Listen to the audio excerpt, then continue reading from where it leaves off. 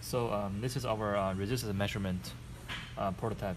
Um, for each scale on the container, we have a measuring point. You can get closer look at it. So, so uh, we have uh, all the measuring point for each scale.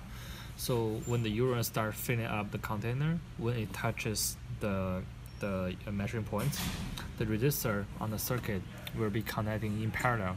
So which means uh, with more urine filling up the container, more resistor will be connecting in parallel and we and the output voltage we measurement at the measuring point will, will changing.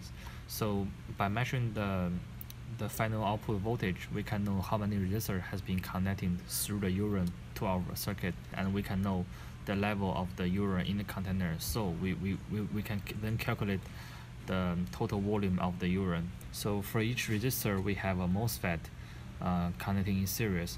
So when the urine starts filling up and touching the, uh, the measuring point, the measuring points will give some voltage to the MOSFET and then turn on the resistors.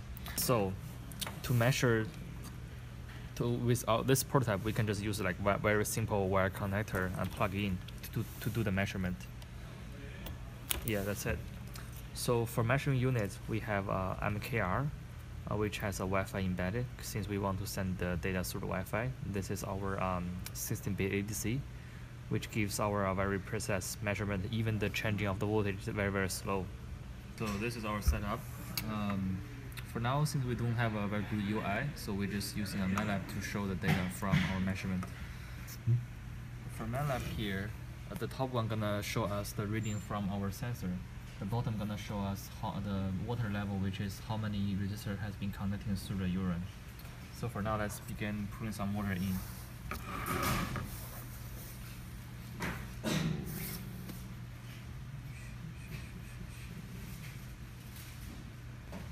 So the water gonna start filling up our container and start touching the pin. So it takes some time, so let's wait when we got some result.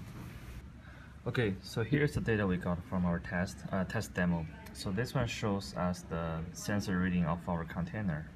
This graph shows us the water level in the box. So for now, it shows that the final level is 28 but since you see we got like three points um, noise so actually uh, if we minus those noise then the total level of the water level in the box should be like 25 which is in our design is around 635 uh, milliliters. So now if we go our container we can see so we got like this is first 10 10, uh, 10 levels and second 10 levels and here's another one two three four five so around um, so this is uh, 508 so there's like around 635 which is like corresponding to what we got from our um, sensor reading in the MATLAB